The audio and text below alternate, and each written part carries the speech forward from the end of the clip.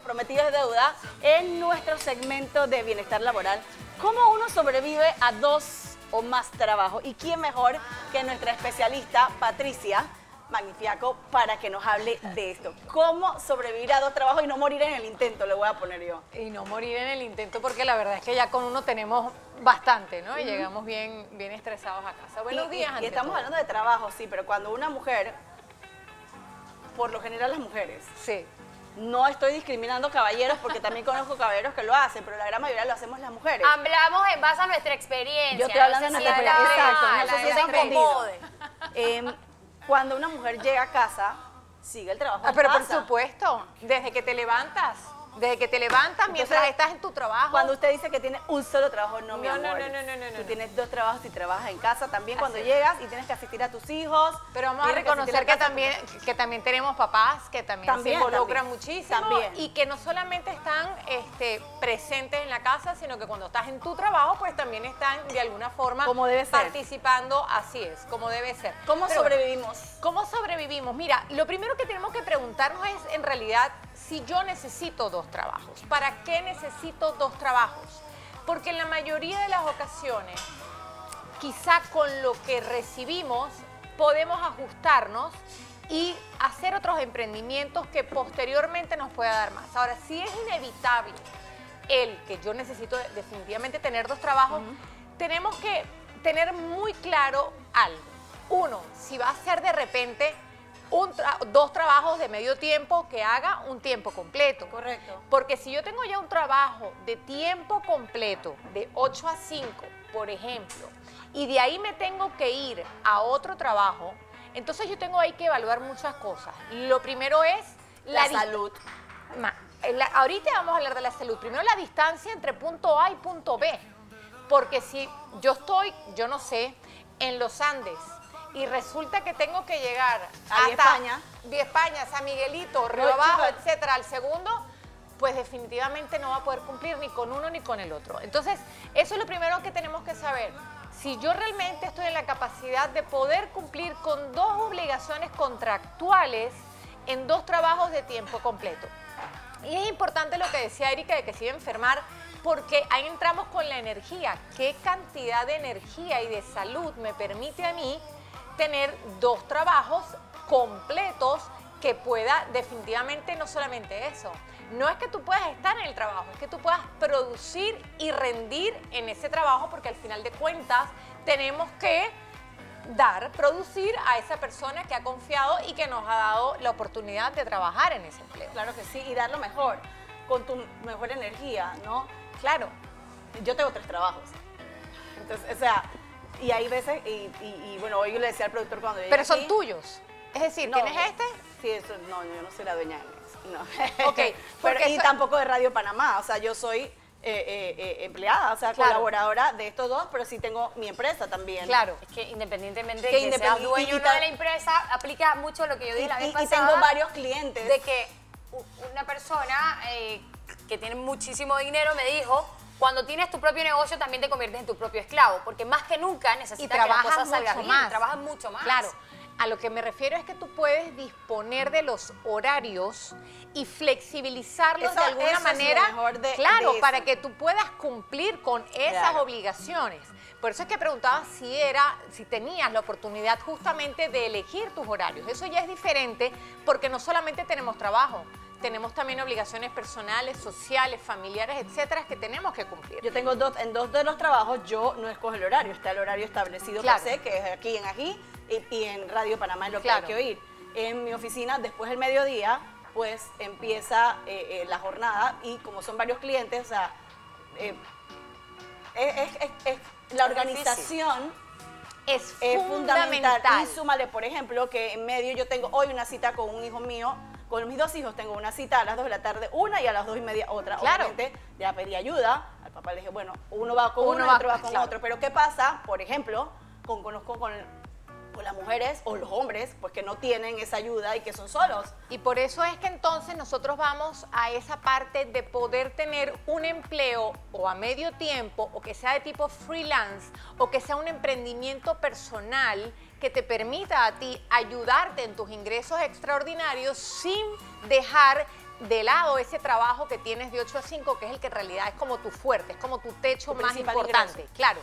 Entonces ahí es donde nosotros siempre recomendamos que cuando, y, está no de moda, yo creo que está muy en boga este término, porque en realidad el emprendimiento personal es lo que va a hacer que tú puedas sostenerte en el tiempo. Porque qué pasa si tú tienes dos trabajos que te exige la misma energía física, por ejemplo? que tienes que estar parado de 8 a 5 siendo cajera en un supermercado, por decirte algo, y de 6 a 12 tienes que ser, qué sé yo, enfermera en un hospital. ¿Y tú para cuándo? Y tienes hijos que para cuándo? ¿Ok? Y eso pasa, y eso nos está pasando. O que de repente tú tengas un trabajo de 8 a 5 en una escuela, escuchando niños gritar todo el día, y después tienes otro trabajo en servicio al cliente, escuchando gente quejarse en un teléfono. O después tengas que ir a la universidad, ¿Ok? por ejemplo, que estás Va a llegar un momento, claro, va a llegar un momento en que a nivel emocional, Ya no va. pues no vas a dar, a nivel físico tampoco vas a rendir y esas son las cosas que nosotros tenemos que evaluar antes de tomar, bueno, voy a agarrar y voy a obtener dos trabajos. No, es ver, ok, yo puedo con estas dos cosas, hay que balancear. Balanceemos, si uno me exige mucho físicamente, entonces el otro no me debe exigir físicamente, me debe exigir quizá a nivel mental, que yo pueda estar sentado, pero pueda estar creando. A veces hay gente que no tiene opción. Lo digo por Sí, experiencia propia. hay gente que no. Yo no tengo opción. Cuando ¿Te tú no tienes opción, o te toca? Cuando tú no tienes opción, lo primero es entonces, uno, tenemos que asegurarnos que estamos muy bien alimentados. Y alimentados no me refiero solamente en la cantidad de comida, en la calidad de comida y tratar de Mira. comer siempre cada tres o cuatro horas. Bueno, Erika siempre trae todo el pocotón de vitaminas aquí. Esas son mis vitaminas. Esas son sus vitaminas. Cuando yo no me tomo estas vitaminas, yo no rindo. Yo trabajé el domingo, obviamente, en Claro, Radio Panamá, porque habían elecciones de 1 a 8 de la noche. Yo ayer estaba acabada y mi hijo Rocco se despertó hoy a las 3 de la mañana Cosito. porque no podía conciliar el sueño. Ajá. Y, y- entonces, claro, yo le dije, Jorge, preparamos esos café cachimbones porque uno también tiene que...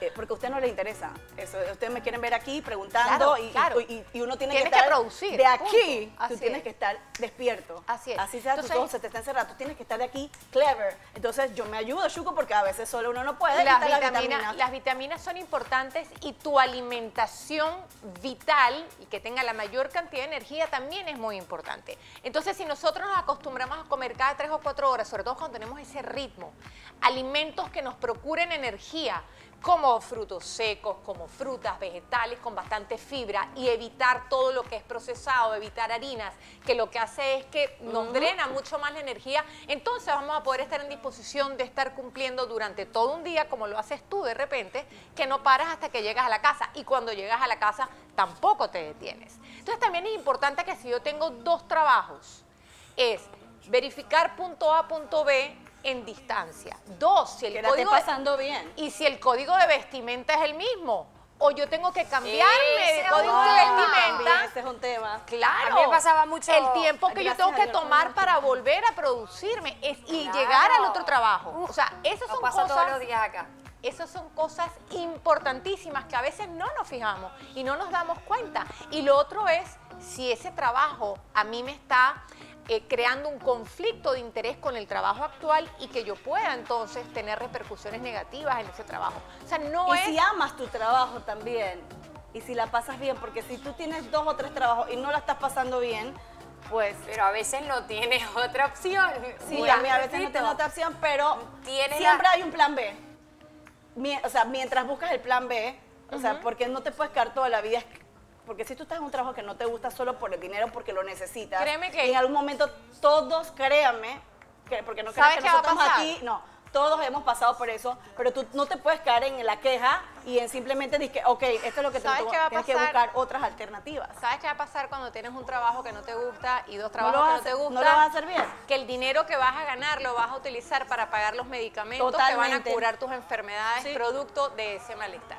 Entonces hay que tener muy claro, por eso siempre les digo, cuando tú quieres tener más de un trabajo, pregúntate primero en realidad, ¿para qué quiero ese dinero extra? Y si realmente haciendo algunos ajustes personales pudieras lograr tener. Porque algo que dijo Erika y que estaba diciendo también Marcia es bien importante.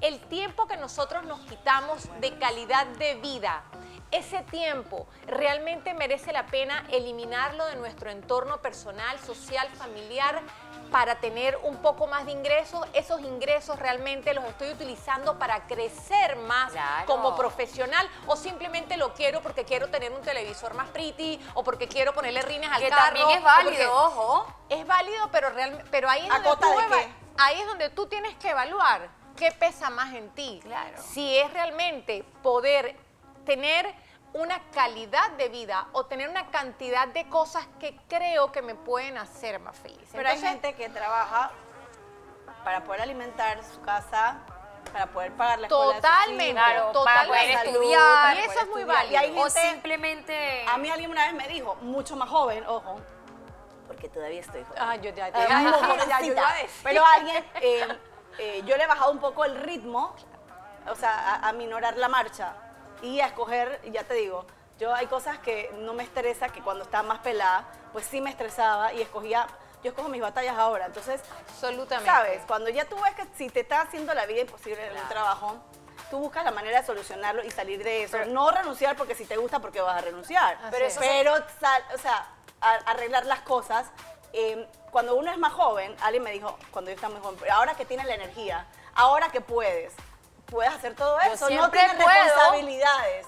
Porque cuando tienes más responsabilidades, Claro. menos tiempo tienes. Claro, pero también entonces ahí te toca elegir qué responsabilidades, sí, como batallas, sí voy a asumir con esto que tengo y cuáles otras puedo o delegar o simplemente abandonar porque pienso que no- lo que pasa es que siempre queremos, tú sabes, abarcar y ser la supermamá y ser la super profesional y darle todo a nuestros hijos y, da- y todo y todo a- al costo muy alto de eliminar tiempo con ellos y la calidad de vida de nosotros realmente se ve minimizada cuando tenemos ese exceso de trabajo y esa fatiga que además ni siquiera nos permitimos poder recuperarnos todos los días un poco de esa carga. Entonces yo creo que lo primero que tenemos que hacer es, si necesitamos realmente dos trabajos, o porque tú dices tenemos que pagar la escuela de mis hijos, a veces queremos pagar la escuela de nuestros hijos la más cara, pero quizá tenemos otra opción que es un poco más accesible a nosotros